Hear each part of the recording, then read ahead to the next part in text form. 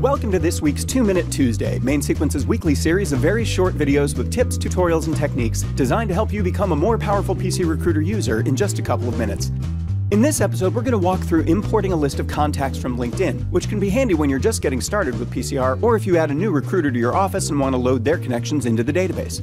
You can import them one at a time, of course, and there are browser plugins that can shortcut that process, but if you want to bring in all of your LinkedIn contact data at once, here's how to do it. Under My Network on LinkedIn, open Connections. Now click this little settings gear on the right, and under Advanced Settings, you'll find an export option. The default data format is a text file with comma-separated values, otherwise known as a .csv, and that's just what we want. Click Export and fill out the security verification to start the download. The data that's included in the export will depend on your particular LinkedIn account and connections.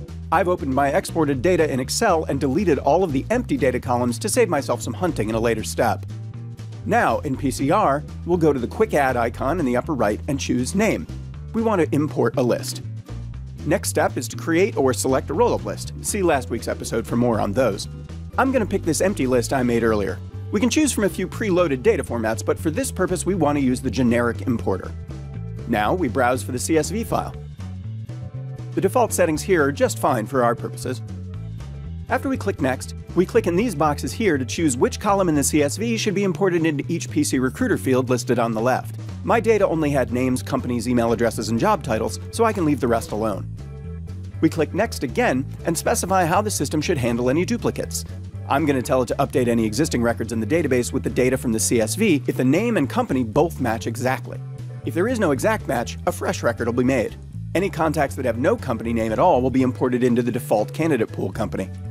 When we click Import, the system starts creating name and company records as appropriate for everyone in the CSV and adds all of the names to the selected rollup so that they're easy to start working with.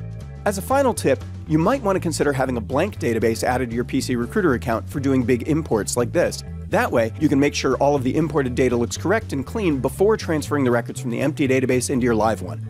For more 2 Minute Tuesdays, subscribe to this YouTube channel and watch our social networks or your PC Recruiter login screen for news. If you have any suggestions for future episodes, send an email to 2 Minute Tuesday at mainsequence.net.